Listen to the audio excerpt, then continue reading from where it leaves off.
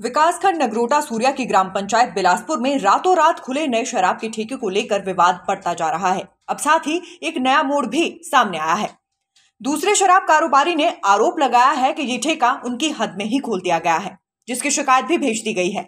शराब कारोबारी रजत ठाकुर ने बताया कि उन्हें भी इस बारे में मीडिया से ही जानकारी मिली थी और उसके बाद उन्हें मालूम हुआ कि ये शराब का ठेका गलत जगह खोल दिया गया है, जिसकी उन्होंने अब लिखित में शिकायत संबंधित विभाग को भेज दी है। उन्होंने आरोप लगाया है कि ये शराब का ठेका गलत तरीके से तकरीबन डेढ़ किलोमीटर आगे जाकर नगरोटा सूर्या की तरफ़ खोल दिया गया, जो कि आबकारी विभाग के नियम अनुसार सरासर गलत है। और जिन्होंने ये ठेका खोला है, उन्हें पीछे हटकर अपनी हदबंदी में ये ठेका खोलना होगा।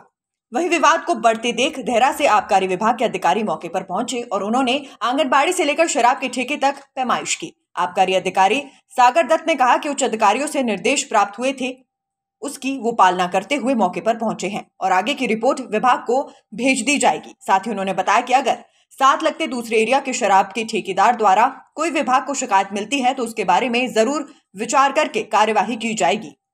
ऐसा है, मेरा नाम सागर दत्त है। मैं सहायक आयुक्त राज्य आबकारी देरा में तैनात हूँ। मुझे उपायुक्त, राज्य एवं आबकारी धर्मशाला के कार्यालय से आदेश हुआ था कि आप जा कर के आंगनबाड़ी और ठेके का जो डिस्टेंस है उसको आप कवर करें कि कितना किलोमीटर है।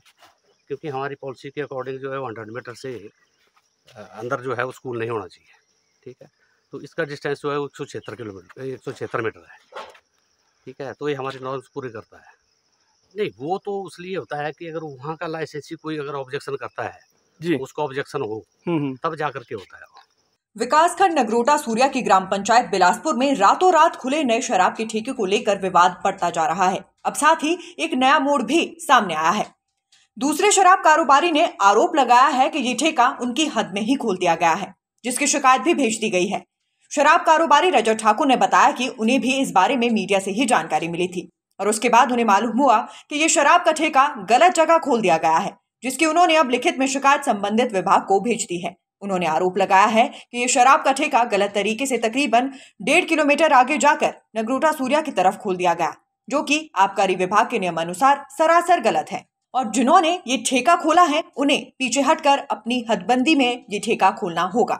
वही विवाद को बढ़ते देख देहरा से आबकारी विभाग के अधिकारी मौके पर पहुँचे और उन्होंने आंगनबाड़ी से लेकर शराब के ठेके तक पैमाइश की। आबकारी अधिकारी सागर दत्त ने कहा कि उच्च अधिकारियों से निर्देश प्राप्त हुए थे उसकी वो पालना करते हुए मौके पर पहुँचे हैं और आगे की रिपोर्ट विभाग को भेज दी जाएगी। साथ ही उन्होंने बताया कि अगर साथ लगते दूसरे एरिया के शराब के ठेकेदार द्वारा कोई विभाग को शिकायत मिलती है तो उसके बारे में ज़रूर विचार करके कार्यवाही की जाएगी।